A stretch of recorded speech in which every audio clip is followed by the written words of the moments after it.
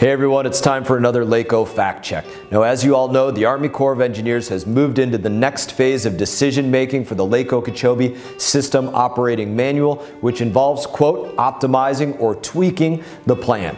The Army Corps is currently soliciting comments on the changes, and in that process, unfortunately, several members of the Palm Beach County Board of Commissioners are trying to have their cake and eat it too. I want to uh, thank you for recognizing, I think, for the first time that Lake Worth Lagoon is actually an estuary and not just the intercoastal. Our first issue would be water supply. And, you know, I do have concerns in regards to potential for water supply. I was elected to represent this district. This district includes the fifth largest agricultural community in the entire United States.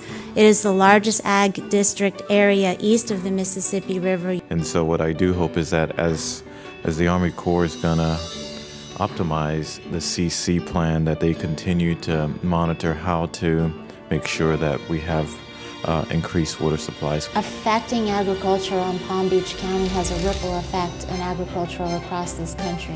What they're doing is advocating to keep Lake Okeechobee at a higher level. Some will say they're doing it in order to improve water supply for drinking water for Palm Beach or the city of West Palm Beach.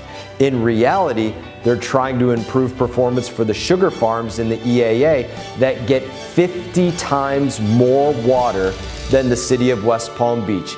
859 billion gallons of water for the EAA, 16.6 billion gallons for the city of West Palm Beach. The city could take just 150th of that and have double the water supply. What they won't admit is that what this will do will result in an increased harmful discharge to the Lake Worth Lagoon. They can't have it both ways. If you keep the lake at a higher level during the dry season, then that toxic water in the lake, it has to go somewhere during the wet season. And the somewhere that that water will go is into the Lake Worth Lagoon. And that is a Lake O fact check.